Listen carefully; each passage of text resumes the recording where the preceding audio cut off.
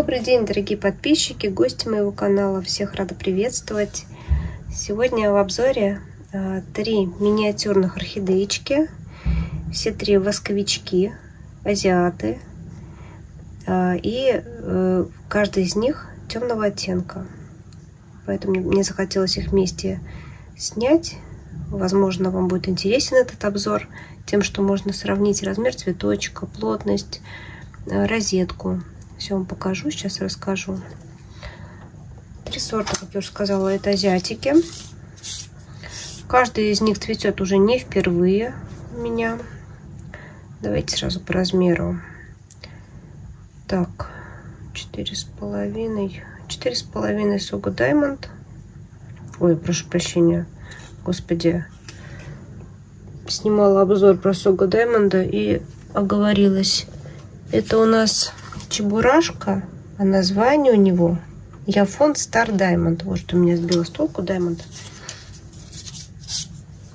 Так, вот эта малышка, кстати, тоже четыре с половиной.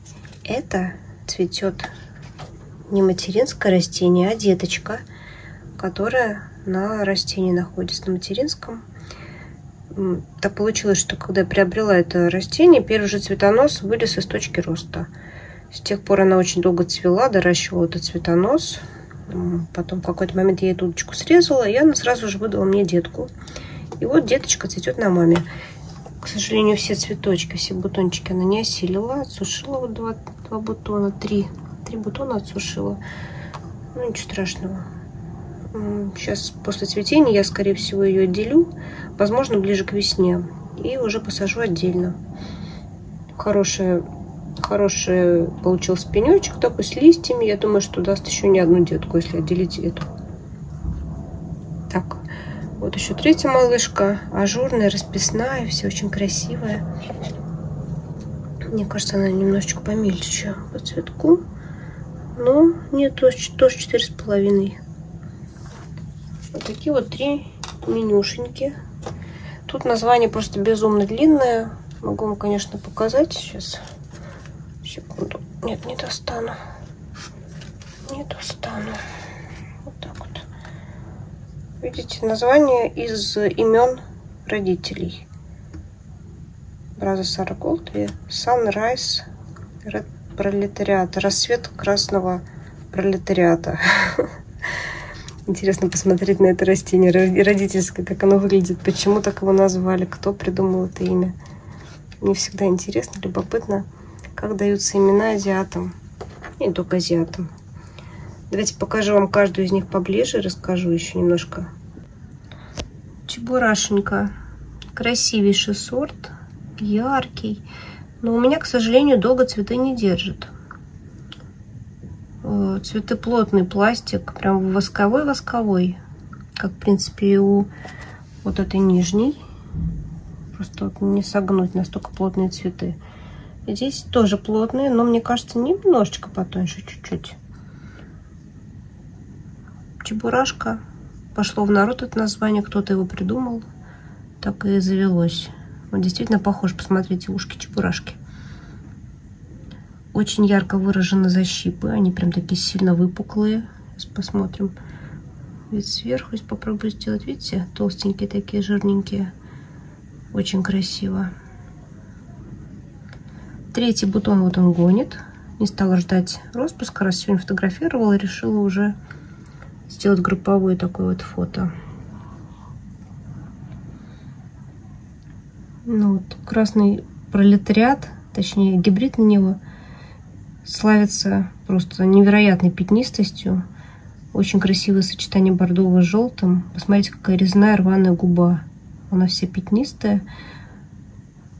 Разделена на две половинки, желтая и белая. И уже по ним идут бордовые пятна. Яркий сорт, миниатюрка, много места не займет. Видите, они у меня все аккуратненькие, компактненькие по кустам. Но, видите, обе поджарились у меня летом. Ну, у них все хорошо. Они уже много месяцев в таком состоянии. Ну вот, нелегко выращивать орхидеи, когда у тебя всего в квартире два окна и оба южные. Да, я их притеняю. Точнее, одно окно у меня под орхидеи, окно и стеллаж, а второе окно под другие растения. Так что даже когда ты от солнца прячешь, все равно от э, жара очень тяжело укрыть растения. Все равно они страдают. Поэтому все же, мне кажется, южные окна самые тяжелые для выращивания орхидей.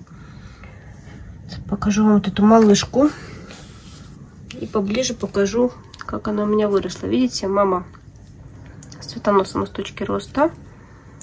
И вот тут дитё с цветоносиком. Кто-то не дает свести таким растением цветоносом у, у малышки, которая сидит на маме, но я хочу сказать, что бояться таких цветений не нужно, потому что э, растение, когда оно на маме находится, оно цветет силами мамы, не своими. Здесь какие защипы прикольные. Так что свои силы оно не тратит. Можете смело давать цвести таким малышкам. Очень, очень интересный цвет у нее такой ало-бордовый. Красивое растение. Довольно дол долго держит цветы, в отличие от Сога Даймонда. Ну, как мне показалось, у меня, по крайней мере, так.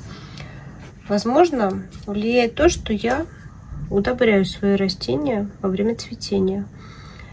Всегда. К этому надо приучать. То есть, если вы так не удобряли, а потом раз резко удобрили, то, скорее всего, цветочки ваши попадают. Но мои цветы приучены, но, видите, не все равно не всем это нравится в целом. Есть те, кто даже несмотря на то, что я удобряю цветущие, держит один и тот же цветок вот до 6 месяцев.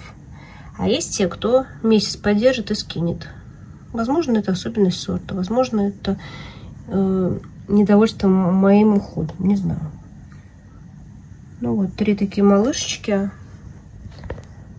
А давайте я вам еще одну сюда добавлю. Она сильно отличается от этих троих.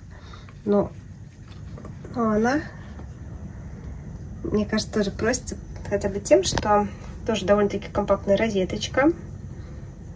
И у нее первое цветение. Ой, хорошая какая. Посмотрите, зеленый прям цвет. Зеленый.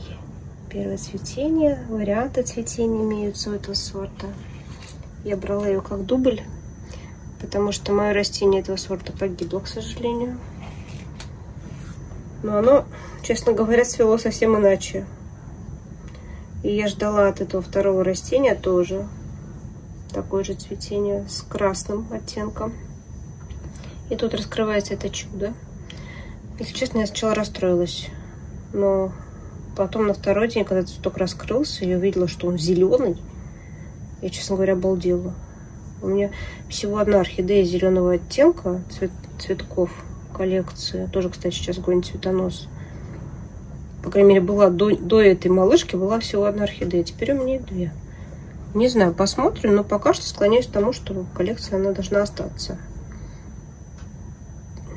такая яркая малышка. Тут цветок, мне кажется, немножко покрупнее, чем у этих малявок. Давайте посмотрим. Пять с половиной. Да, покрупнее. Ну, вот такая вот компашка. Была троица, стал квартет. Рассказывайте, кто вам больше по душе, кто вам понравился. Э, кого вы захотели вдруг приобрести после этого обзора. Мне всегда интересно читать такие комментарии, что после моих видео что-то ёкнуло и прям вот приспичило купить конкретный сорт. Приятно, конечно, что люди находят что-то новое, вроде как в обычных сортах после моих обзоров. Я очень радуюсь. Подписывайтесь на канал, если еще не подписаны. Впереди много-много видео, обзоров. Может быть, что-то буду еще полезное снимать часто задаете вопросы про мой уход. И стараюсь все-таки иногда снимать видео такого плана, а не только обзоры цветений. Всего хорошего, всем хорошего настроения.